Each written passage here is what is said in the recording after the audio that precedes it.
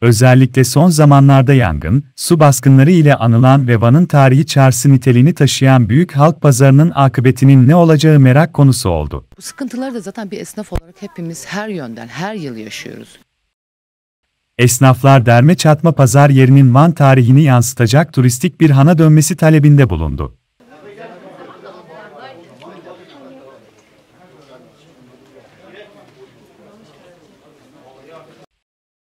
Van'da en köklü alışveriş yerlerinden olan ve tarihi çarşı niteliği taşıyan büyük halk pazarı esnafları, son zamanlarda yaşanan su baskınları, yangınların verdiği zarar ve pazar yerinin derme çatma yapısına dikkat çekerek dönüşüm talebinde bulundu.